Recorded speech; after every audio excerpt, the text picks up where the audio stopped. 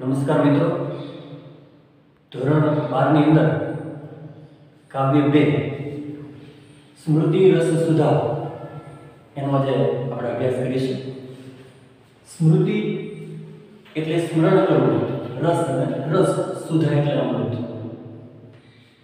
તો આપણી અલગ અલગ જે મનુસ્મૃતિ, જે સ્મૃતિઓ છે, એમાંથી નીતિ વિષયક જે શ્લોકો છે, એનો આજે આપણે કાવ્ય બેની અંદર અભ્યાસ કરીશું.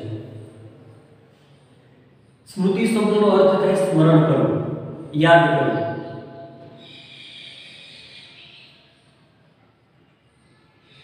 પરંતુ સંસ્કૃત સાહિત્યમાં આ સ્મૃતિ શબ્દનો અનેક પ્રકારનો ધર્મશાસ્ત્રમાં એવો અભ્યાસ થાય છે. જે સ્મૃતિ શાસ્ત્ર છે, જે વિષયનો સમાવેશ થાય છે, એની મુખ્ય ત્રણ વિભાગ છે. આચાર, વ્યવહાર અને પ્રાયશ્ચિત. આચાર એટલે એની અંદર વર્ણાશ્રમ ધર્મ. આપણા વર્ણાશ્રમ ધર્મ છે, બ્રાહ્મણ, ક્ષત્રિય, વૈશ્ય અને શુદ્ધ. તો ત્રણ વિભાગ જે સ્મૃતિઓનો અંદર સમાવેશ કરેલો છે, એમાં પહેલા આચાર છે અંદર વર્ણાશ્રમ ધર્મ, ત્યારબાદ વ્યવહારની અંદર રાજધર્મનો સમાવેશ અને પ્રાયશ્ચિત છે. એની અંદર તપ દાન વગેરે કર્મકાંડનો સમાવેશ કરવામાં આવેલો છે. તો મૂલ્યવાન વિચારો વ્યક્ત કરતા આઠ શ્લોક પદ્ય બેની અંદર આપણે અભ્યાસ કરવાનો છે. તો જોઈએ આપણે પહેલો જે શ્લોક છે, મનુસ્મૃતિમાંથી લેવામાં આવેલો છે. અને પહેલો જે શ્લોક છે કહેવા એ માગે છે કે જે વ્યક્તિ અધર્મથી ધનની પ્રાપ્તિ કરે, એને ચાર તબક્કામાંથી એને પસાર થવું પડે છે. અને છેલ્લે જે ચોથો તબક્કો છે, એની અંદર અધર્મથી અનિતિથી જેને પૈસો પ્રાપ્ત કર્યો હોય, તે મૂળ સહિત એનો કઈ રીતના નાશ થાય છે. તો જોઈએ આપણે પહેલો શ્લોક, પેજ નંબર છ પર કાવ્ય બે નો પહેલો શ્લોક. પ્રથમ પદ્યમાં અધર્મનું આચરણ કરનારી વ્યક્તિના જીવન અંદર ચાર તબક્કા આવે છે. જોઈએ પહેલો શ્લોક. અધર્મણે ત્યાં પહેલો જે શબ્દ છે એની અંદર સમજી સુટી પડશે અધર્મણે એધતે તાવત તત ભદ્રાણી પશ્યતિ તત સપત્નાન જયતિ સમૂલમ તુ વિનશ્યતિ અનીતિથી જે ધન પ્રાપ્ત કરવાનો પહેલો જે તબક્કો છે અધર્મેણ એધતે તાવત અધર્મથી ધન પ્રાપ્ત કરે છે એ પહેલાની સંપત્તિમાં એની સંપત્તિ વધે છે. ત્યારબાદ તત્વ ભદ્રાણી પશ્યતિ. ત્યારબાદ એ ભદ્રાણી કલ્યાણ છે. ભદ્ર એટલે કલ્યાણ. એ કલ્યાણ છે એને પશ્યતિ જોડે છે. તત્વ સપત્નાન જય ત્યારબાદ એના જે શત્રુઓ છે સપત્ના એટલે શત્રુઓ. પછી શત્રુઓ પર વિજય મેળવે છે અને સમૂલમ તું વિનશ્યતિ. અને ત્યારબાદ મૂળ સહિત અધર્મથી ધન પ્રાપ્ત કરતા વ્યક્તિ છે મૂળ સહિત એનો નાશ પામે છે. તો શબ્દ આપણે કેમ જોઈએ. પહેલો શ્લોક. પહેલો શબ્દ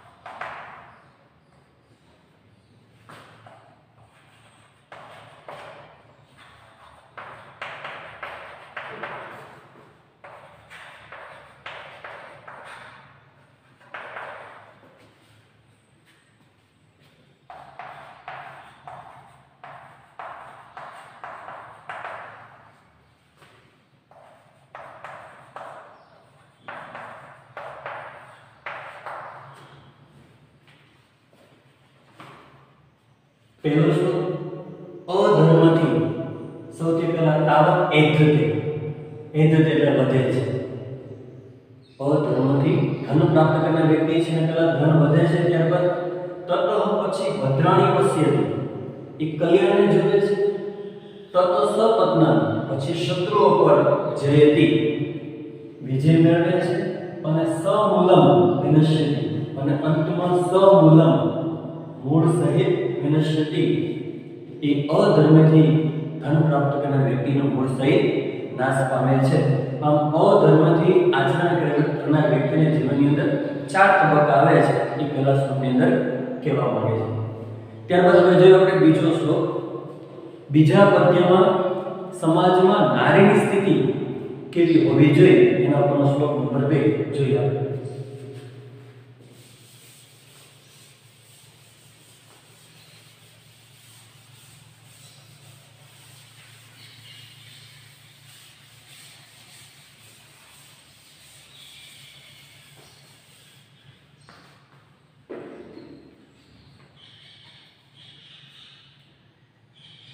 સદા પ્રવશ્રય ભવ્યમ ગૃહકાર્યેષુ દક્ષયા સુસંસ્કૃત ઉપસ્કર્યા વ્યય ત્યારબાદ છેલ્લો શબ્દ છે એમાં સંધિ સુધી પડશે ચ અમુક્ત હસ્તયા સદા પ્રશ્નય ભવ્યમ સદા એટલે હંમેશા પ્રશ્નય ભવ્યમ હંમેશા પ્રસન્ન રહેવું ગૃહ કાર્યેશુ ગૃહ એટલે ઘર ઘરે ઘર છે એના કામકાજની અંદર દક્ષયા દક્ષયા એટલે કુશળ. સુસંસ્કૃત ઉપસ્ક્રિયા. ઘરની સાધન સામગ્રી છે, એને સ્વચ્છ રાખનારી. ચ અને અમુક્ત હસયા વ્યય વ્યય એટલે ખર્ચ કરવામાં. ચ વ્યય અને ખર્ચ કરવામાં અમુક્ત હસયા. કરકસર યુક્ત હોવી જોઈએ. ફરીવાર જોઈએ, ગુજરાતીમાં મનુસ્મૃતિમાંથી લીધેલો શ્લોક નંબર બે. નારી છે અને સમાન સ્થિતિ કેવી હોવી જોઈએ? તો હંમેશા પ્રસન્ન રહેવું ઘરના કામકાજની અંદર કુશળ સાધન સામગ્રી છે એને સ્વચ્છ રાખનારી અને ખર્ચ કરવામાં નારી છે. કર કરકસરયુક્ત હોવી જોઈએ. શ્લોક નંબર બે. આપણે શબ્દ જોઈએ. પહેલો શબ્દ છે સદા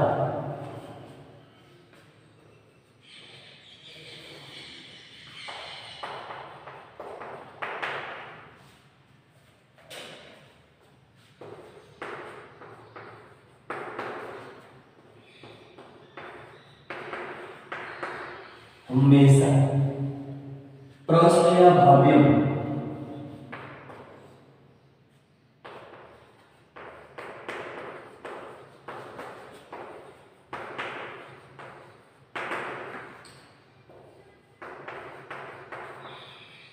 હંમેશા પ્રસન્ન ગૃહ કાર્યેશુ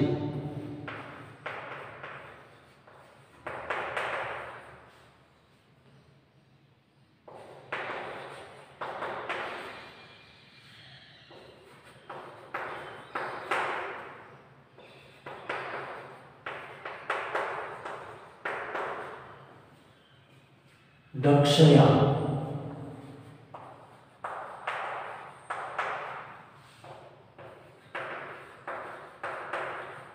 કુશળ સુસંસ્કૃત ઉપસ્ક્રિયા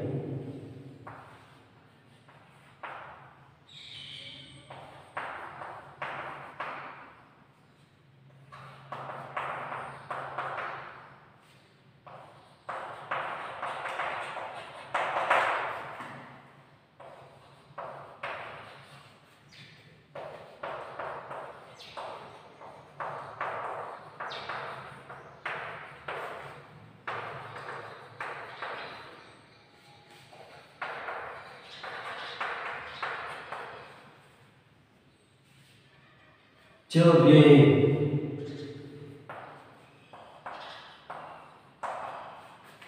અને ખર્ચ કરવામાં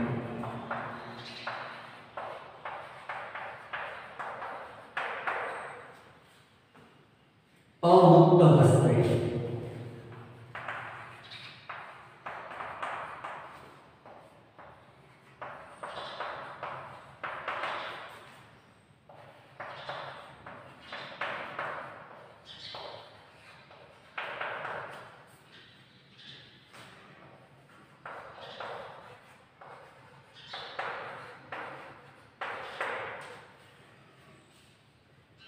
શ્લોક નંબર બે પણ વનસ્પતિમાંથી જ લીધેલો છે. જોઈએ શ્લોક નંબર બે.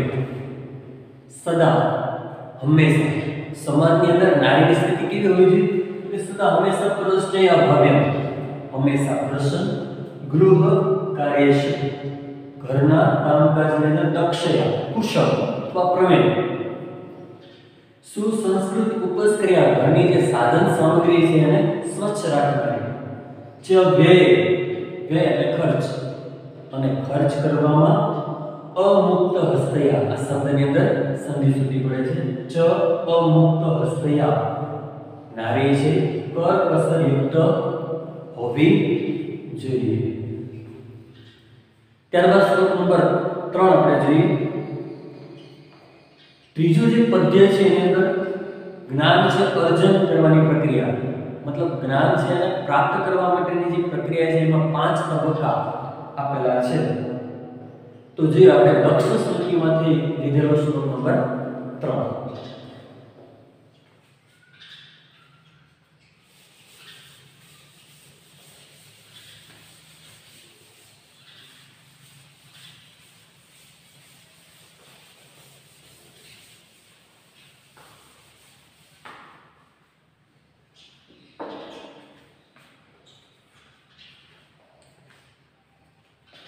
વેદ સ્વીકરણ પૂર્વે.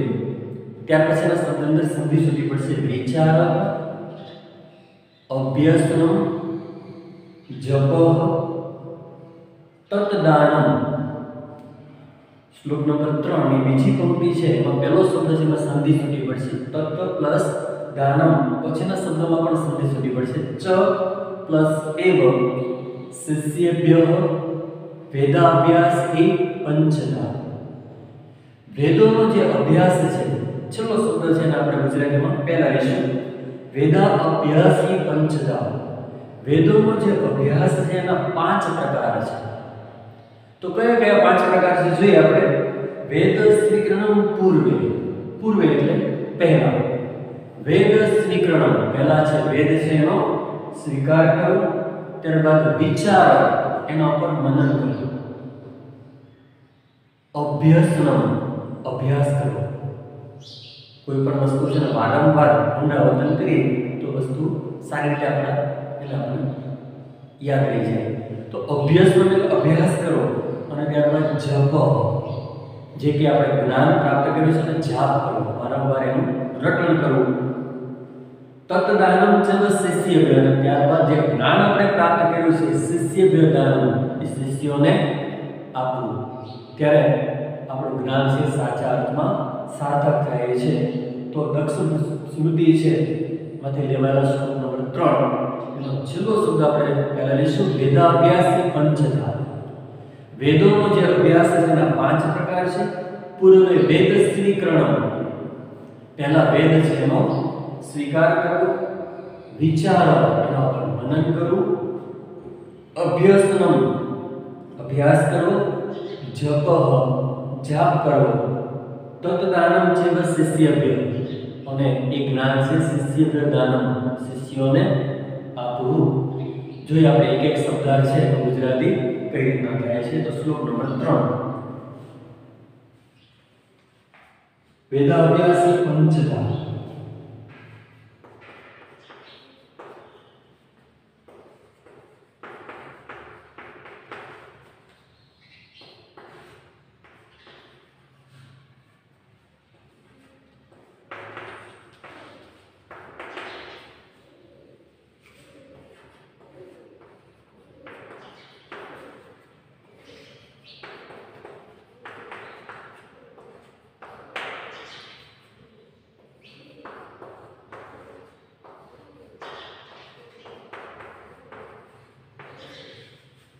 વેદોનો અભ્યાસના પાંચ પ્રકાર છે એમાં પહેલા પૂર્વે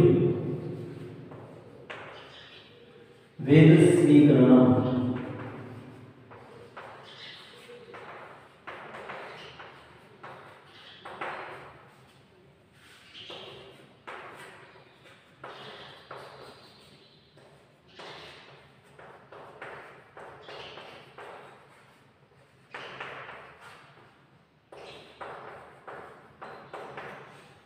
પહેલા વેદોનો સ્વીકાર કરો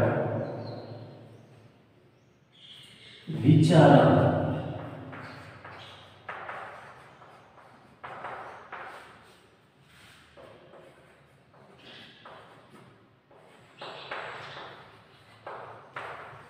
મનન કરો અભ્યસનમ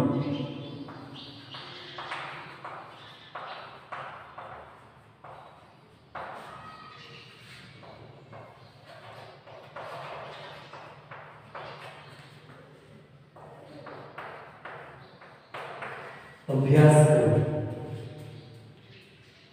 જપ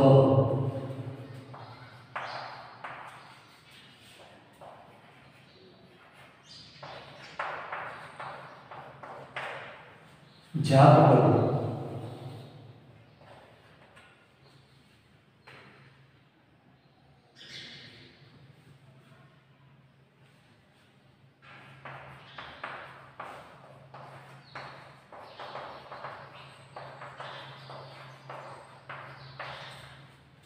તે જ્ઞાન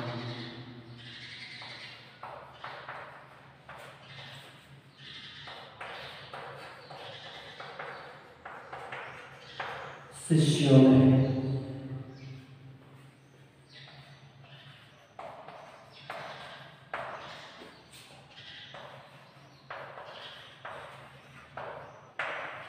આપો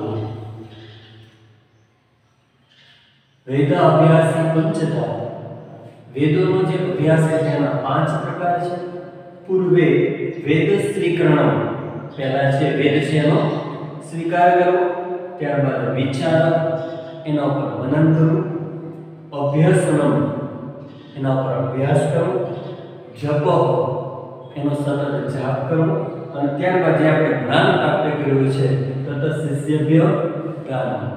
જે કે જ્ઞાન આપણે પ્રાપ્ત કર્યું છે, શિષ્યો છે એને આપવું આ પાંચ વેદોના અભ્યાસના પાંચ પ્રકાર છે. ત્યારબાદ વશિષ્ઠ સ્મૃતિમાંથી શ્લોક નંબર ચાર લેવામાં આવેલો છે. બ્રાહ્મણ છે. વિપ્ર છે એના માટે અધ્યયન. બ્રાહ્મણ છે એના માટે અધ્યયન છે. એ કેટલું જરૂરી છે? એનું મહત્વ બતાવતો શ્લોક નંબર ચાર. જોઈએ આપણે.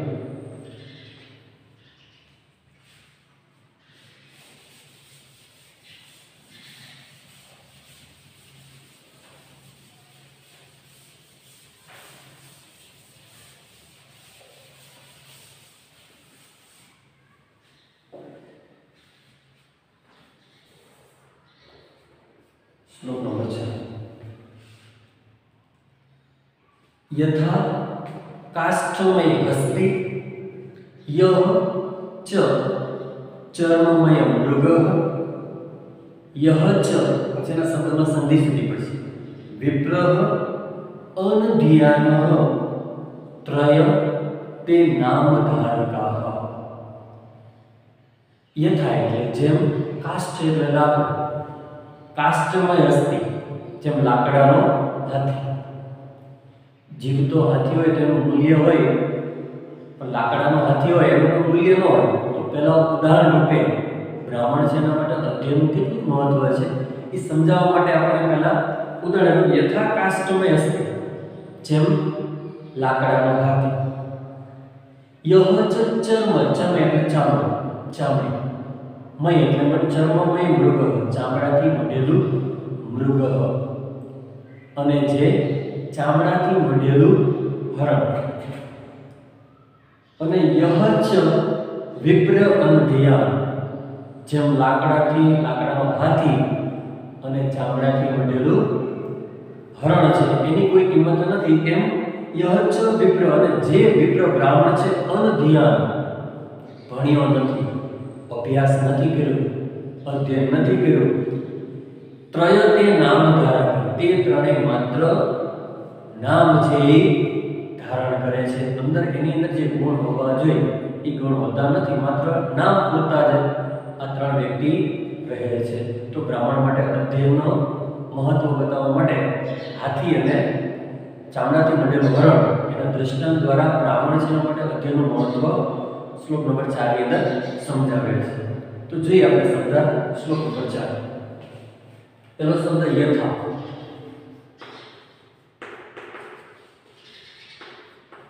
જેમ કાષ્ઠમય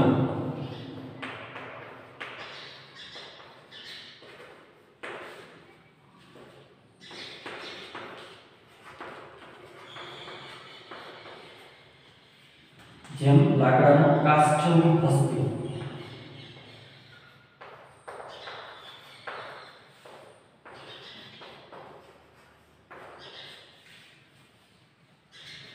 યહ च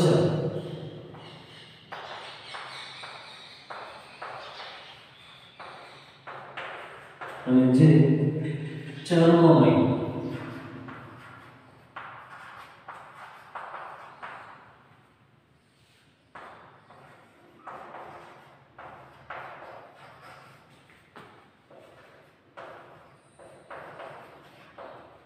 ચામડાથી બનેલું મૃગ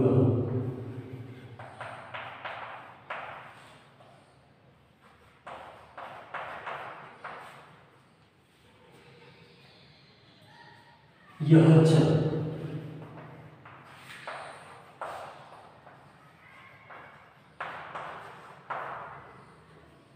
અને જે અનધ્યાન વિપર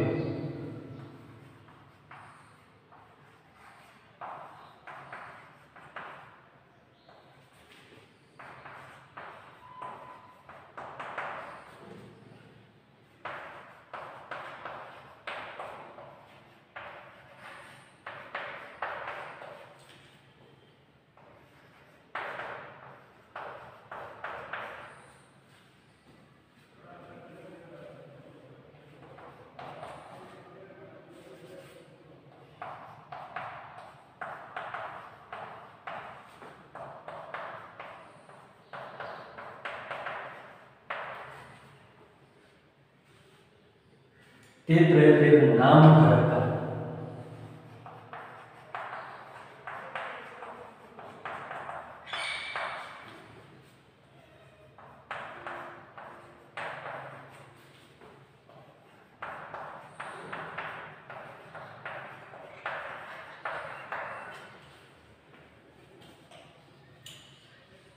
બ્રાહ્મણ માટે અભ્યાસનું મહત્વ બતાવતો શ્લોક નંબર યથા જેમ કાષ્ઠમય લાકડાનો હસ્તી એટલે હાથી યહ ચર્મમય અને જે ચર્મ ચામડાથી મઢેલું મૃગ, હરણ યહ અને જે અનધ્યાન વિપ્ર, અનધ્યાન ભણ્યો નથી, તે વિપ્રહ બ્રાહ્મણ, તે ત્રય નામ ધારતા તે ત્રણેય માત્ર નામ ધારણ છે. ત્યારબાદ શ્લોક નંબર પાંચ. પાંચમા શ્લોકની અંદર વિદ્યા અને તપ નો મહિમા બતાવેલો છે. જો વિદ્યા પ્રાપ્ત કરવી હોય તો વ્યક્તિ સાથે તપ છે એની પણ તૈયારી રાખવી પડે. જેટલી કષ્ટી પડે તો જ વિદ્યાની પ્રાપ્તિ થાય. જો વિદ્યા મેળવવી હોય તો તપ જરૂરી છે. તો બંનેનો મહત્વ બતાવતો શ્લોક વશિષ્ઠ સ્મૃતિમાંથી લેવામાં આવેલો છે. જોઈએ આપણે શ્લોક નંબર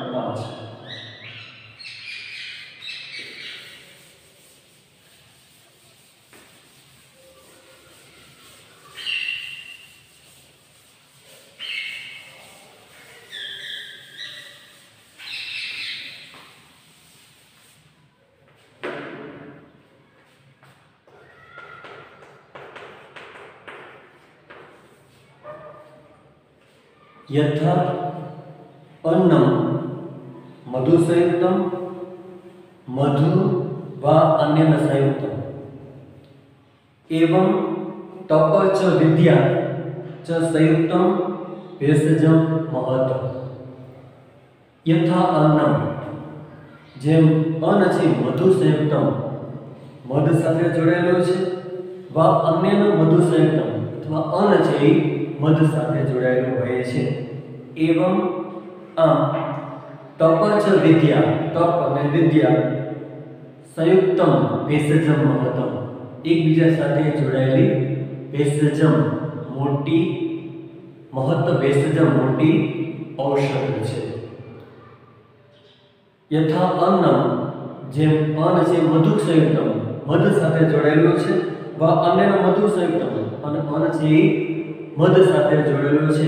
એવમ તપચ વિદ્યા. આમ તપ અને વિદ્યા ભેષજમ મહત્તમ સંયુક્તમ. એકબીજા સાથે જોડાયેલું ભેષજમ મોટી ઔષધ છે. જોઈએ શ્લોક નંબર પાંચ.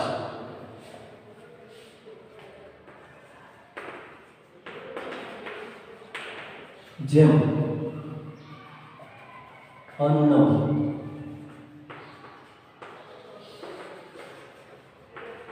અન્ન મધુ સંયુક્તમ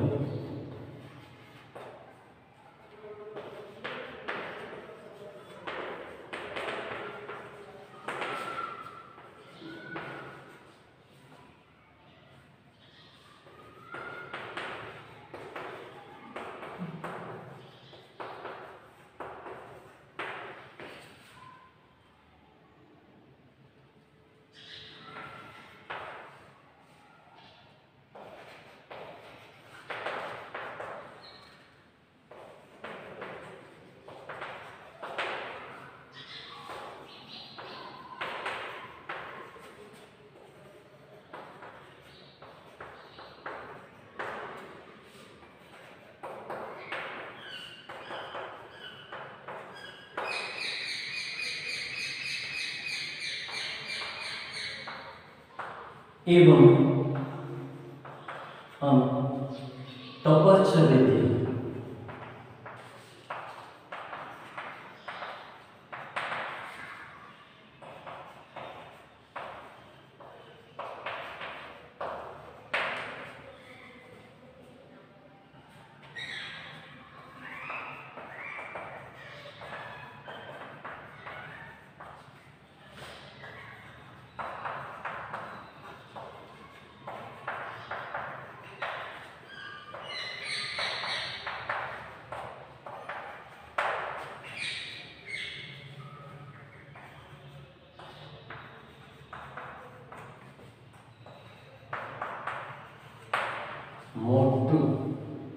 ભેષજમ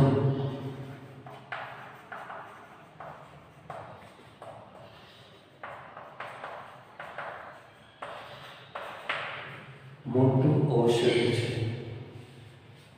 છે યથા અન્નમ જેમ ફળ છે મધુ સંયુક્ત મધ સાથે જોડાયેલું છે જે મધુમાં અને મધ છે અન્ન સાથે જોડાયેલું છે આમ એવમ આમ તપ છે વિદ્યા તપ અને વિદ્યા સંયુક્ત એકબીજા સાથે જોડાયેલું મહત્વ ભેષજમ મહત્વ એટલે મોટું ઔષધમ. ઔષધ છે. ત્યારબાદ છઠ્ઠો શ્લોક જોઈએ. છઠ્ઠું પદ્ય છે દુરાચારના પરિણામ. દુર્જન વ્યક્તિ છે. એનું જે ખરાબ આચરણ કરે છે, એના જીવનની અંદર કેવું પરિણામ આવે એ બતાવો તો શ્લોક નંબર છ. આપણે અભ્યાસ કરીશું અને મનુસ્મૃતિમાંથી લેવામાં આવેલો છે જોઈએ શ્લોક નંબર છ.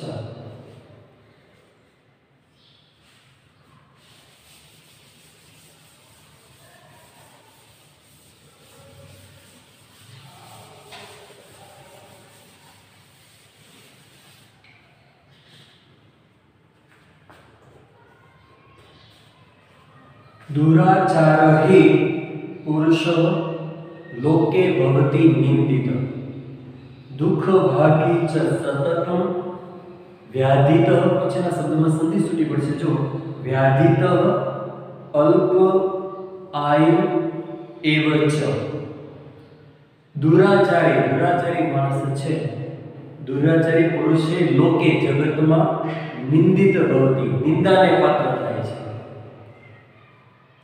ચ દુઃખ ભાગી સતતમ અને સતત દુઃખ છે ને પામનાર વ્યાધિત રોગી ચ અલ્પ આયુ અને ટૂંકા આયુષ્યવાળો બને છે. તો વનસ્પતિમાં બતાવેલું છે જે દુર્જન છે દુષ્ટ માણસ છે, જે ખરાબ આચરણ કરે છે, એના જીવન અંદર કેવું પરિણામ આવે?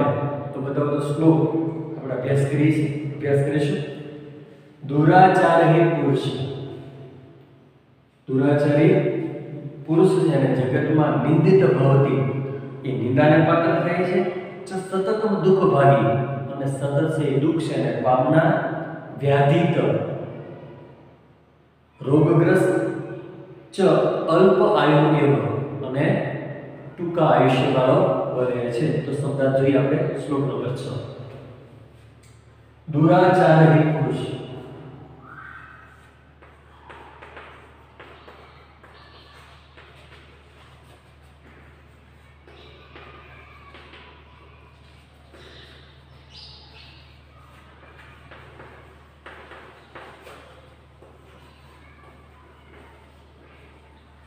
દુરાચારી પુરુષ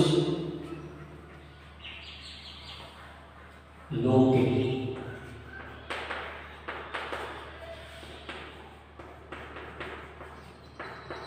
જગતમાં નિંદિત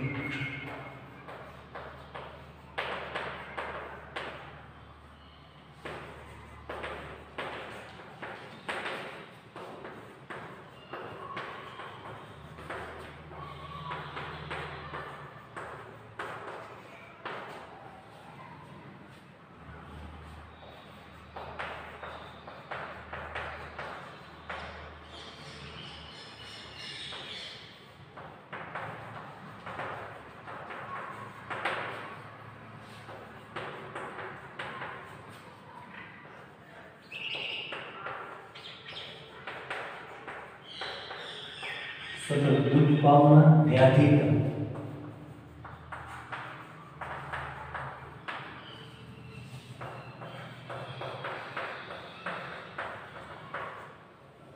રોગગ્રસ્ત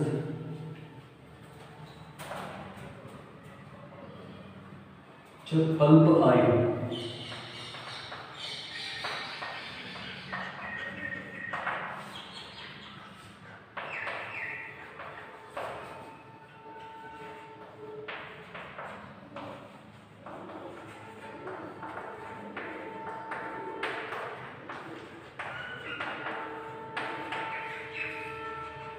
ટૂંકા આયુષ્યવાળો બનાવીએ છીએ.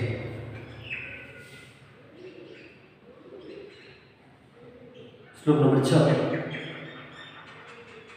દુરાચારી પુરુષ દુષ્ટ પુરુષ પુરુષ છે લોકે જગતમાં નિંદિત ભવતી નિંદાને પાત્ર કહે છે ચ સતત દુઃખ ભાગી અને સતત છે દુઃખ ભાગી. દુઃખ છે એને પામનાર, વ્યાધિ રોગ રોગગ્રસ્ત ચ અલ્પ આયુ અને ટૂંકા આયુષ્ય વાળો બને છે.